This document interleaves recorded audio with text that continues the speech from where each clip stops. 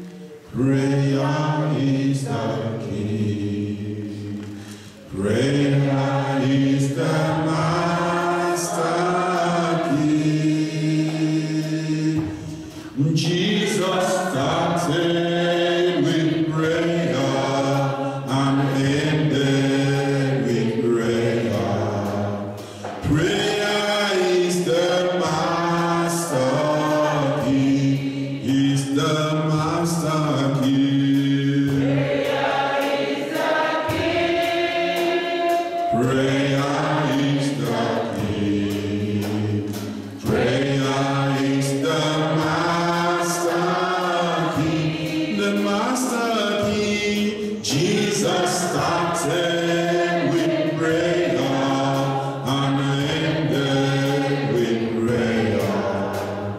Prayer is the master key. Good evening, everyone, and happy New Year to you all.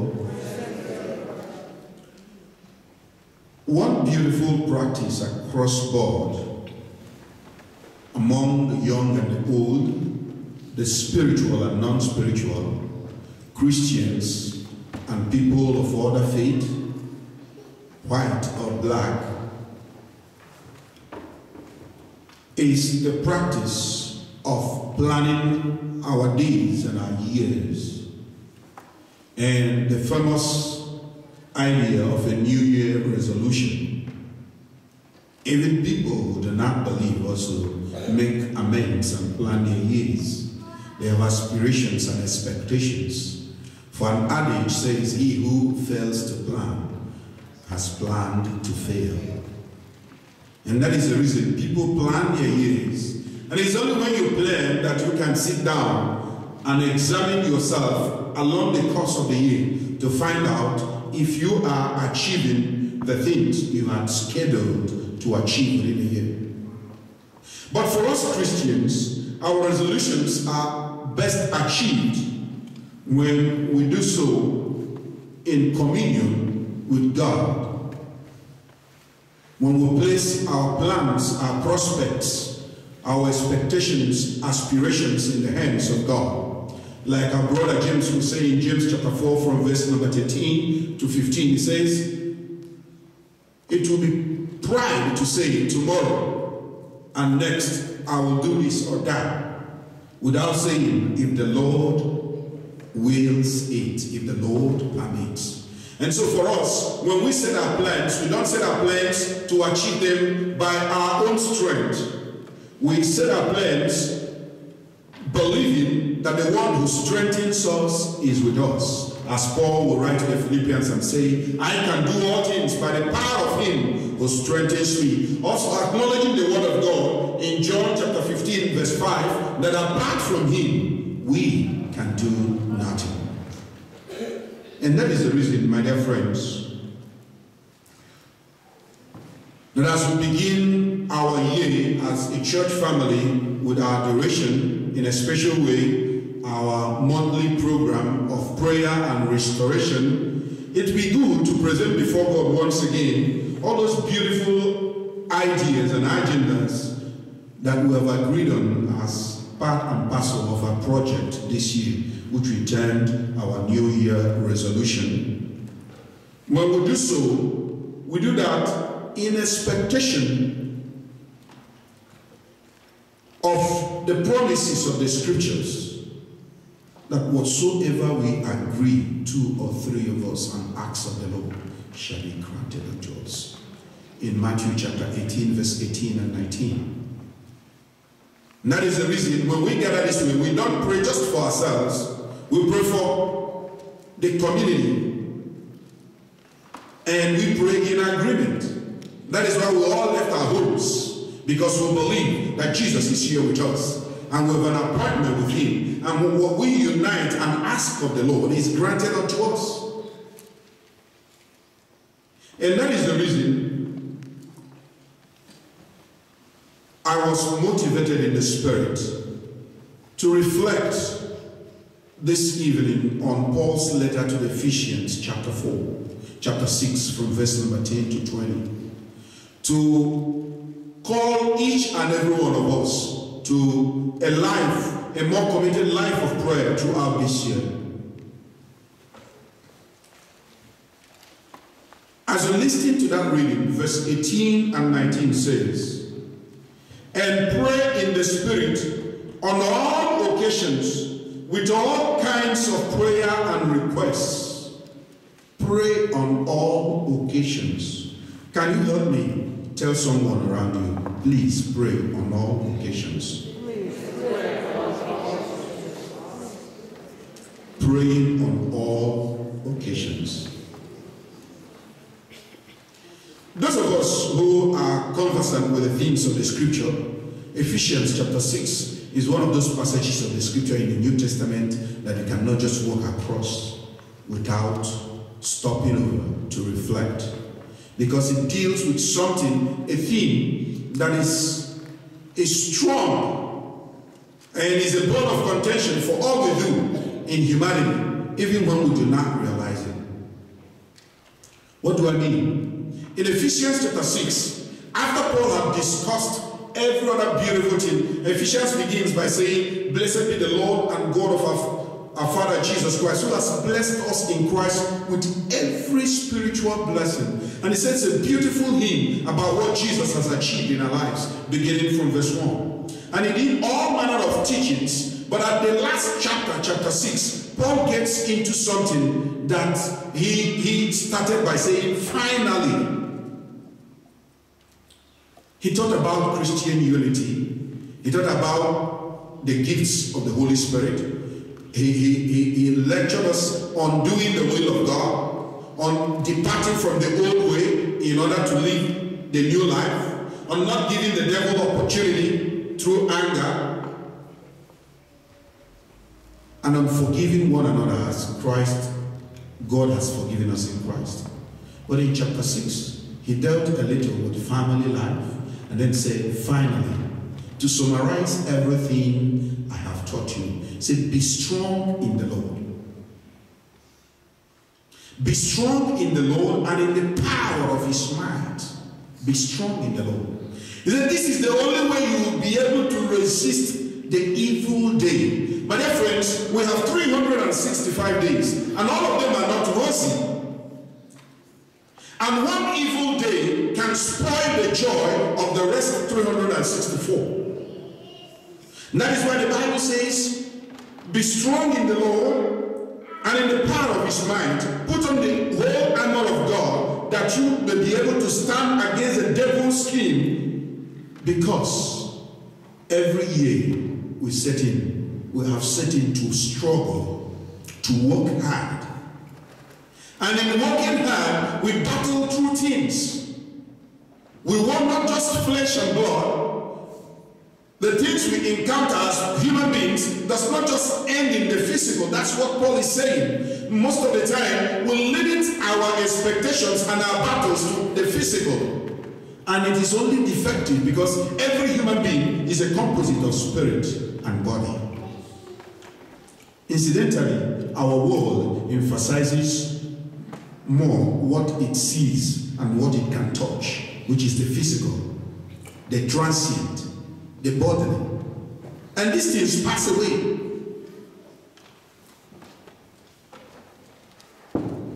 The real thing that matters, that is the spiritual, is not given enough emphasis in humanity. When we talk about success, we emphasize only efforts, our physical efforts forgetting the fact that the world in which we are is a world of body and spirit. And that the spiritual controls the physical.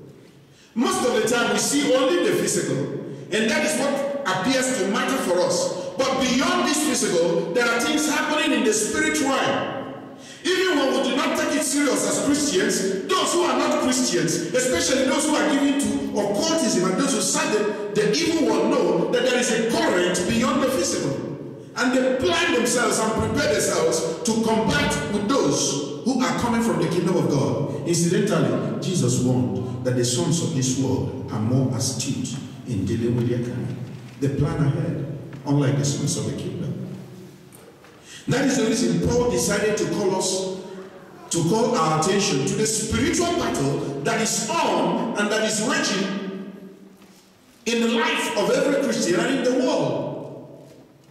Though we may not notice it, though we may not take cognizance of it, and the devil likes it, the Bible says, My people perish for lack of knowledge.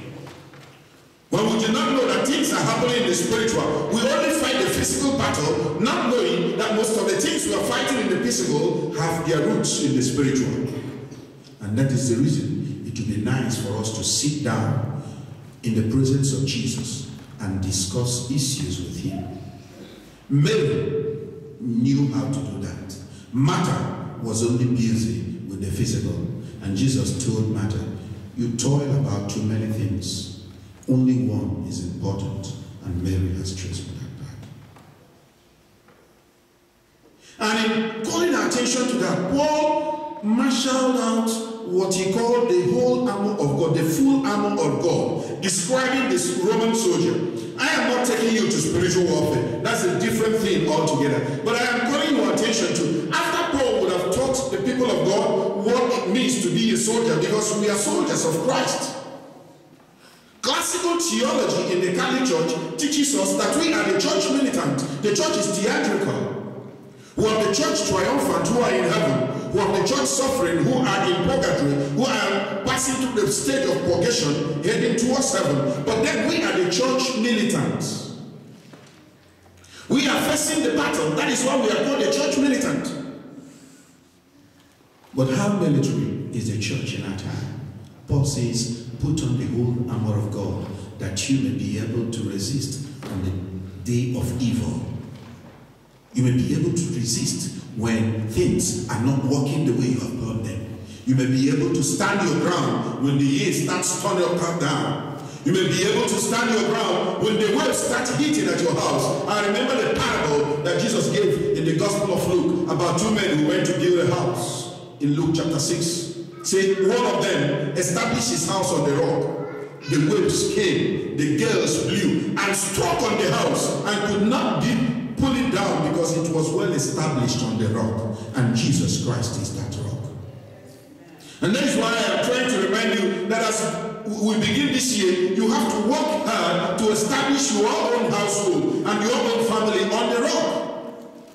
Paul says, put on the whole armor of God, the belt of truth, the breastplate of righteousness, the shield of faith to quench the burning darts of the evil one, which means that the enemy is constantly shooting arrows at us. Psalm 91 says, The arrows that fly by day and the arrows that fly by night shall not have access to our home, which means arrows are being shot and you need the shield of faith. He talked about the helmet of salvation because that is where we're heading. If you don't make salvation, then there's no point to answer a Christian.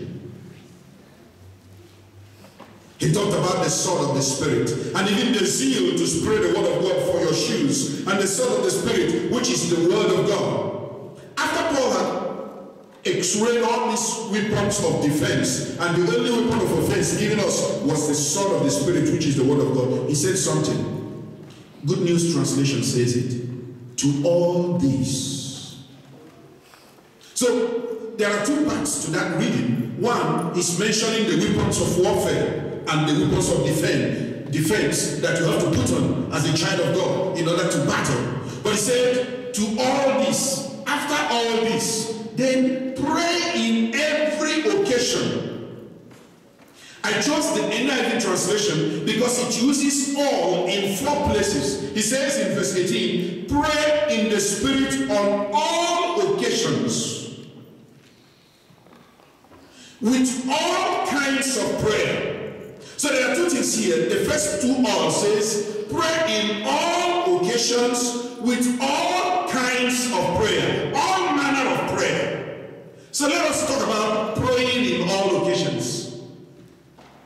Because for that occasion to be successful, you need the presence of God.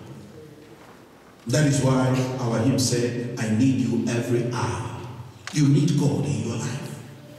And says, it is not just a prayer that you pray and stop. It is something that is ongoing. It is our culture. You cannot wake up in the morning as a child in the family without saying, good morning, daddy, good morning, mom. I don't know about you, but it will be disrespectful in the family to leave the house without according honor to your parents in my culture. And so spiritually, it will not be right for you to do anything without seeking the permission of the heavens. Jesus would wake up every in the morning and he will leave his disciples in the room and he will go out to settle out the day with God in prayer, despite his busy schedule. And Paul says, pray in the spirit. In all occasions, don't let any opportunity pass you by. Whatever you are about to do, commit it to prayer.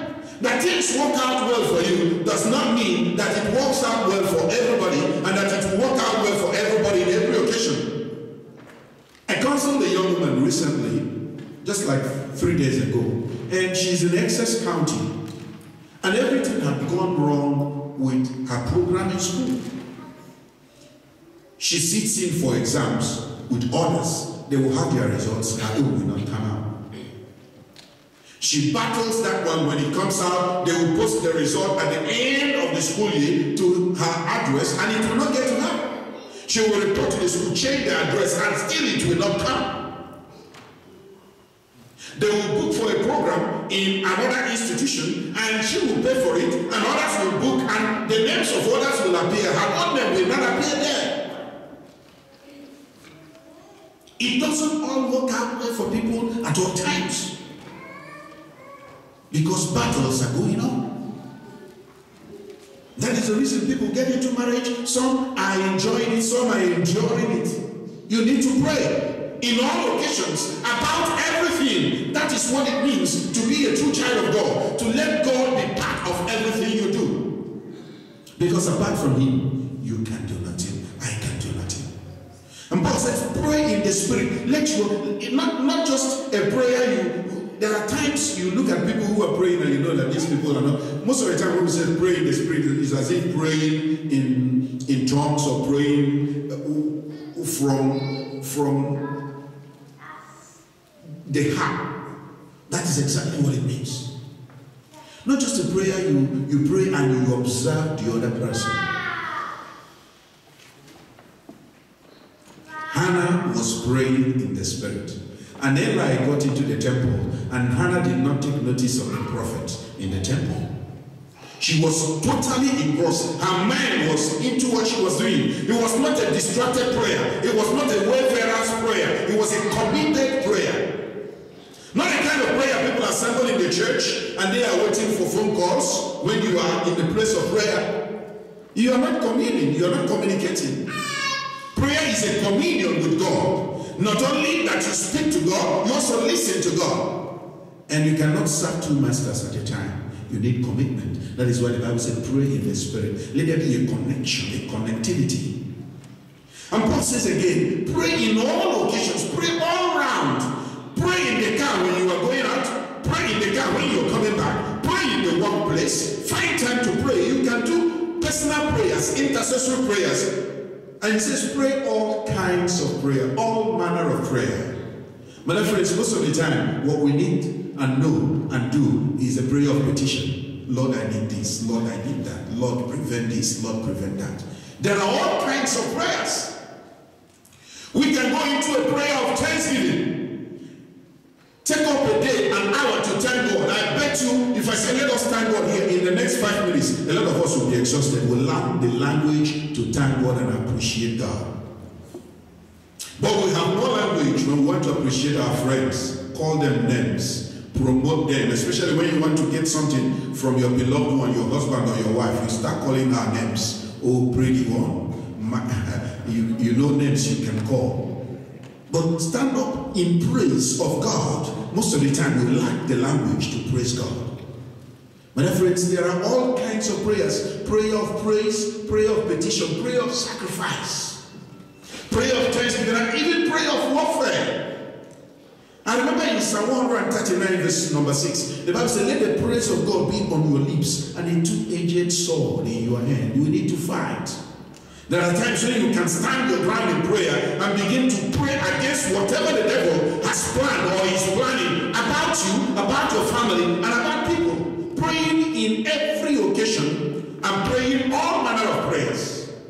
All manner of prayers may be prayer of petition, prayer of contemplation, prayer of praise, prayer of warfare, midnight prayer, morning prayer, man, prayer of the mass, the liturgical prayers. All these are kinds of prayers. But you can also look at from a different perspective. From the perspective of your personal prayer, because you have a personal thing to do with God. And then, moving out of your person, you go into family prayer because you are also concerned about the family. There are people who pray individually, but they do not pray as families. And I think some kind of prayer is lacking in that family.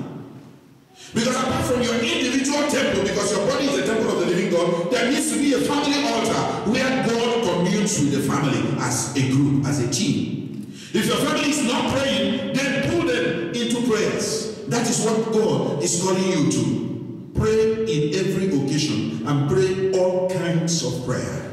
Apart from the family prayer, well, the communal prayer. Finish your family prayer, if have a prayer of adoration, the parish family gathering for prayers, don't sit at home. Make it your prayer. It's a communal thing. That is why you're part of this community. When you are not here, part of the body of Christ is not here. Stop creating the gap and the lacuna we create when we gather in the family prayer. Scripture says, pray all kinds of prayer. Communal prayer, family prayer, personal prayers. In all quality of prayers we can. That is what Scripture is calling us. Pray all kinds of prayer.